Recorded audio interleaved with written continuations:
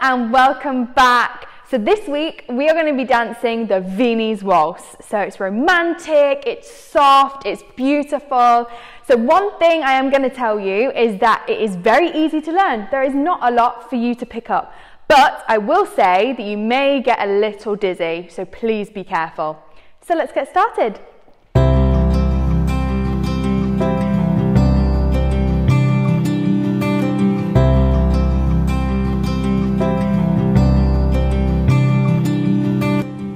Hi guys, it's Viennese waltz time. So we're going to start off very basic, imagining ourselves drawing a box on the floor with our feet.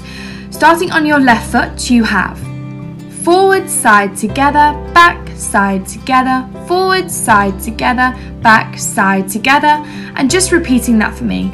The timing is one, two, three, one, two, three, one, two, three, one, two, three.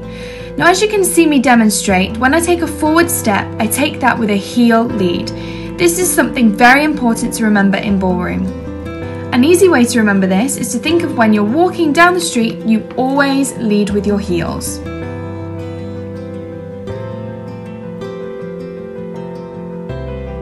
Here's me putting the naturals together with the frame and adding rotation. Stay tuned for my bonus video coming soon which talks specifically about the ballroom frame.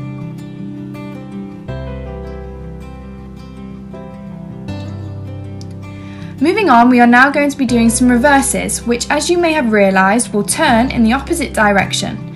Starting on your right foot, back, side, together, forward, side, cross. Back, side, together, forward, side, cross.